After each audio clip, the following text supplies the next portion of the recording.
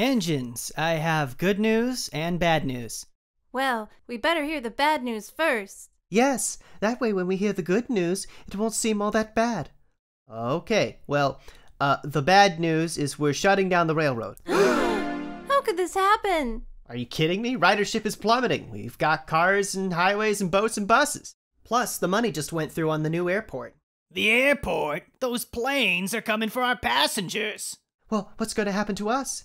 Uh, the scrapyard, I guess. They're going to melt us down? Mr. Bowler, how could you? I mean, I kind of feel bad since you guys can talk, however the hell that works. But also, you're just machines created to serve people, so it seems like you don't actually have souls. anyway, I'm sleeping easy. Well, uh, what's the good news?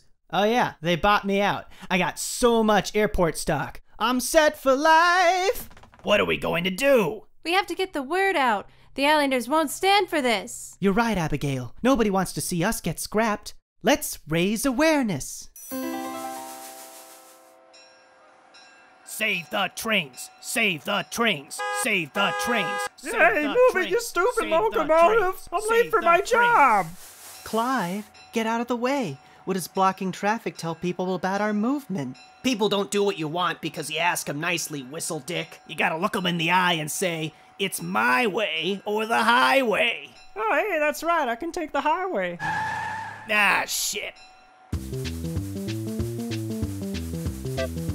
Wristbands, t shirts. Benjamin, is that you?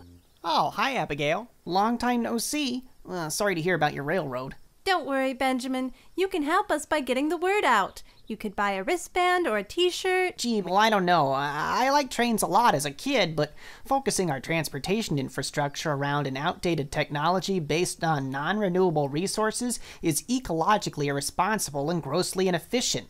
I just don't see any place for you in the green economy future. Well, Benjamin, us trains have been around for a long time. We were here before you or your parents or even your grandparents were born. So I think we're gonna make it through this. And one day, when you're old and gray, I'll be huffing and puffing along while they pull the plug on your ass. You hear me? I'll be here when you're fucking dead, Benjamin. When you're fucking dead! Engines, when I heard that you'd started a social media campaign, I was very cross. That said, your hashtag totally exploded, and I got a big offer from the mainland to put you all in a museum. All right.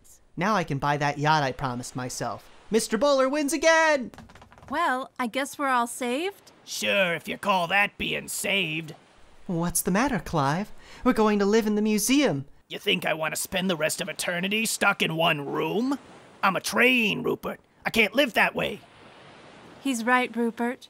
A museum can't replace all of this. So, what do we do? No more of this weak ass awareness bullshit. You want to get serious about saving this railroad? You do it my way. Whatever this is, Clive, I'm in. Rupert, are you in or are you out?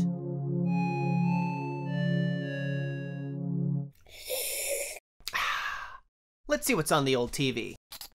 Pandemonium continues as police try to find those responsible for sabotaging the island's bridges, cutting off all road access to the mainland. Curiously, the railway has remained completely intact, leading some to suspect Railroad Commissioner Mr. Bowler of foul play.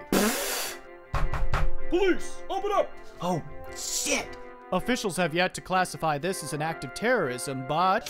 Hello, fellow islanders. For too long, we, the trains, have lived in the shadow of the car, the bus, the airplane. Now there will be no more avoiding the one true way of the railroad.